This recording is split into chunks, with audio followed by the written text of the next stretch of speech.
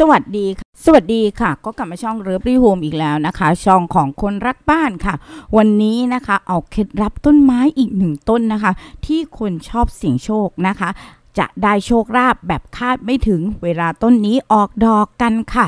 และที่สำคัญนะคะ ถ้าเกิดไม่ได้โชคลาภนะคะ หน้าที่การงานก็จะ ก้าวหน้านะคะ เวลาต้นนี้ออกดอกนะคะ เดี๋ยวเราไปดูค่ะว่าต้นนี้คืออะไร ก่อนไปดูอย่าลืมกดไลค์กดแชร์และกด Subscribe ค่ะ เดี๋ยวเราไปดูวิธีปลูกกันค่ะ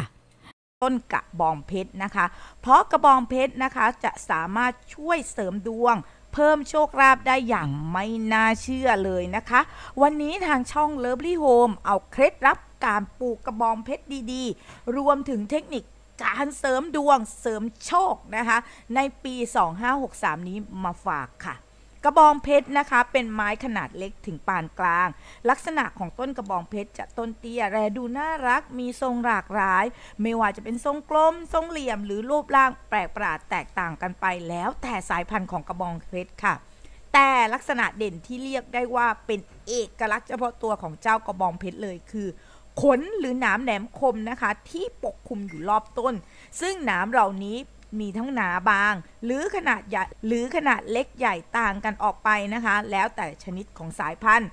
การปลูกก็ไม่ยากเหมือนต้นไม้สวยงามที่เราเห็นอยู่ทั่วไปนะคะ เพราะสามารถทนต่อสภาพอากาศที่ร้อนแบบเมืองไทยเราได้ดี หรือพูดง่าย ๆ ว่าชอบแสงแดดดูแลรักษาง่ายนั่นเองค่ะ ตัวเองก่อนนะคะว่าถ้าเกิดอยากได้โชคลาภแล้วเป็นคนไม่มีเวลากระบองเพชรเป็นคำตอบนะคะสำหรับคนที่ไม่มีเวลาได้ดีนะคะ เพราะรดน้ำเพียงอาทิตย์ละครั้งเดียวก็พอนะคะ เพราะโดยธรรมชาติของเจ้ากระบองเพชรสามารถเก็บกักน้ำไว้ได้ดีมากๆ เพราะปลูกกันในทะเลทรายนะคะ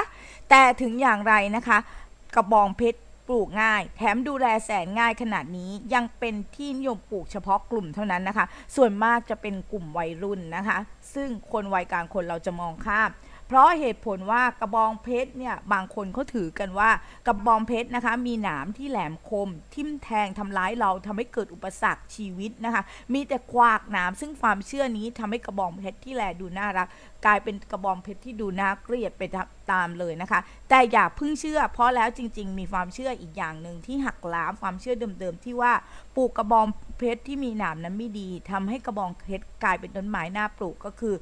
การปลูกกระบองเพชรนะคะ มีว่าปลูกกระบองเพชรจะช่วยเสริมโชคลาภเพิ่มเงินทองนั่นเองค่ะ แต่เราจะปลูกอย่างไรทุกคนปลูกได้เหมือนกันหมดนะคะ แต่จะปลูกอย่างไรให้กิจการเราก้าวหน้านะคะ เพชรออกดอกนะคะ จะทำให้เกิดความสวยงามแล้ว แสดงว่าบ้านเรากำลังรับโชคลาภเข้ามา เงินทองไม่ขาดสายอะไรจะดีปานนั้นนะคะ บางคนก็เอาไปตีหวยกันเลยก็ได้นะคะ ซึ่งเคล็ดลับนี้เรามาบอกคุณแล้วค่ะ เคล็ดลับที่จะช่วยเสริมดวงให้เฮงๆก็ง่ายค่ะ ให้ปลูกต้นกระบองเพชรในวันเสาร์เท่านั้นนะคะ และวางเจ้ากระบองเพชรในทิศตะวันตกจะยิ่งดีคูณ 2 เข้าไปเลยค่ะ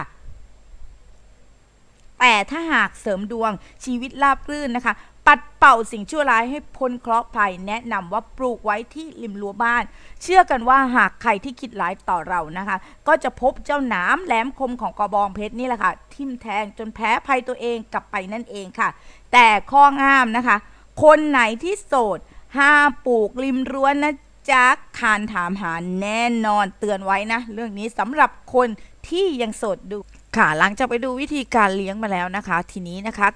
เราก็เลี้ยงกันไม่ยากแล้วใช่ไหมคะ ทีนี้นะคะค่ะ การที่เราปลูกกระบองเพชรนะคะ ให้ออกดอกนั้นนะคะ เราเชื่อเป็นต้นไม้มงคลนะคะ จะทำให้กิจการก้าวหน้า ได้เลื่อนหน้าที่การงานเร็วนำโชคลาภมาให้กับตัวเรานั่นเองค่ะ และที่สำคัญนะคะ ถ้าเกิดว่ายิ่งออกดอก นะคะ ให้สวยงามแสดงว่าช่วงนั้นคุณเสี่ยงดวงแล้วไม่พลาดแน่นอนนะคะ และช่วงนั้นนะคะจะทำถ้าเกิดถ้าเกิดกระบองเพชรออกดอกนะคะ ช่วงนั้นคิดจะลงทุนอะไรก็ให้ลงทุนได้เลยนะคะ และที่สำคัญค่ะ